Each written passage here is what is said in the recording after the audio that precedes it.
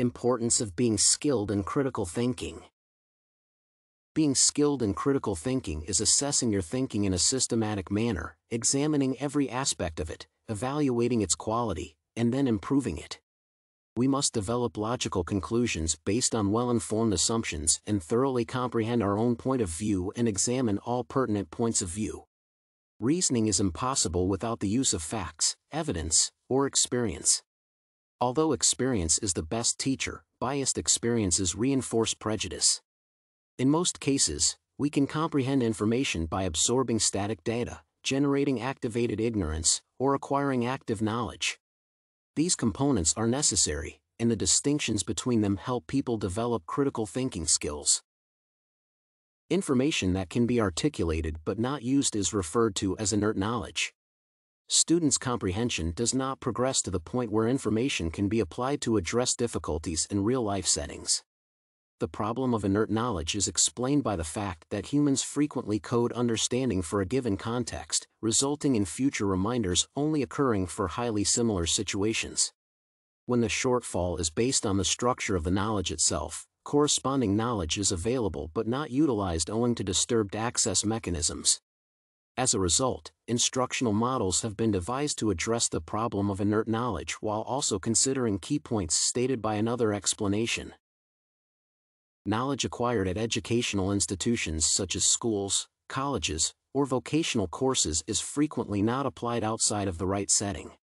The failure to apply information can alternatively be attributed to metacognitive control, which is attributed to a part of the cognitive system functioning on the knowledge base rather than a lack of knowledge employed lack of conceptual knowledge, lack of compilation of knowledge, separate knowledge systems for verbalization and requirements for action, and knowledge sharing can also serve as a reason for insufficient application and transfer of knowledge.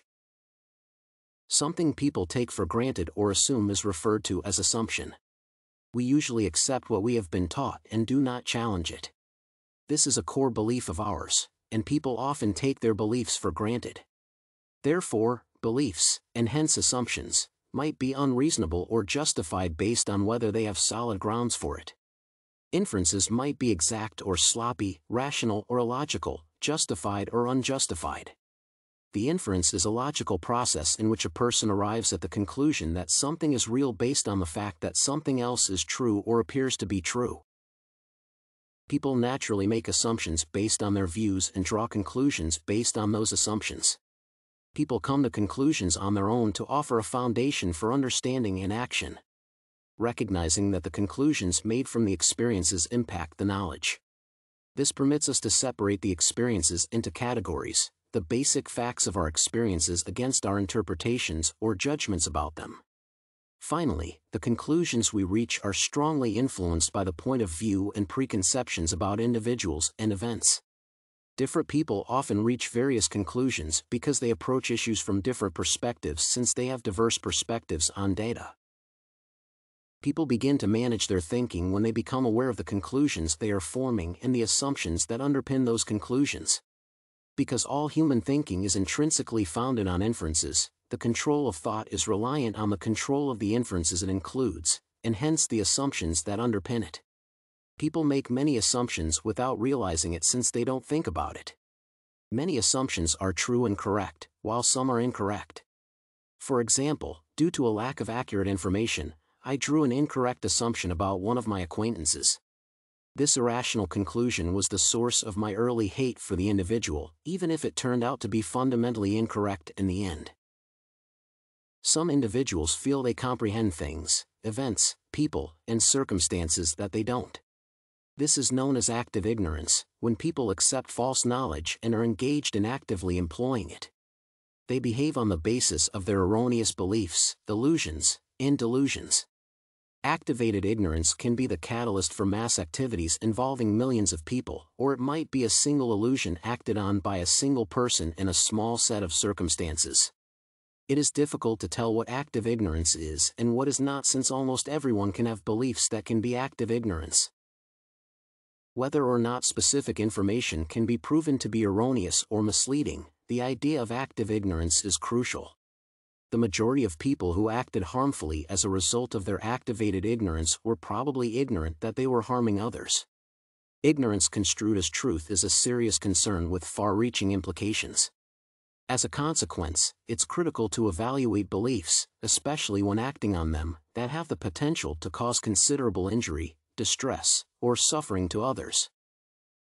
When we talk about activated knowledge, it usually implies the acceptance and active application of information that is right. This process indirectly leads us to more and more knowledge through a deep comprehension and allows us to infer more and more knowledge indirectly. Every valid human discipline has the possibility for activated knowledge. We begin with basic knowledge of a certain area's most fundamental principles and aims. We may feel the power of intellect, knowledge, and experience functioning in tandem based on basic concepts and fundamental principles. One of the most important strategies here is to develop a method of gathering active knowledge, so that the logic of other things will be uncovered through this process. Thus, it can be seen how crucial it be understanding different aspects of seemingly basic concepts of thinking. The best example in terms of visibility of consequences is the subject of history or historical learning when a student simply memorizes the dates and events, not really thinking about underlying processes, it can lead to activated ignorance. Part of it can become his pool of inert information, the other, which a student can misinterpret or not understand, can lead him to false inference and ground his beliefs on a fundamentally wrong assumption. On the contrary, understanding historical thinking helps to rely on historical information while also grasping past historical knowledge. Accountability for the past may assist in better comprehending the present and establishing logical future plans by starting with a grasp of the core program of historical thought, such as constructing. Once a student has grasped this fundamental understanding of historical reasoning, he may begin to think historically in daily situations. He or she starts to understand the link between thinking about an item and thinking about everyday life problems, which is an example of activated knowledge.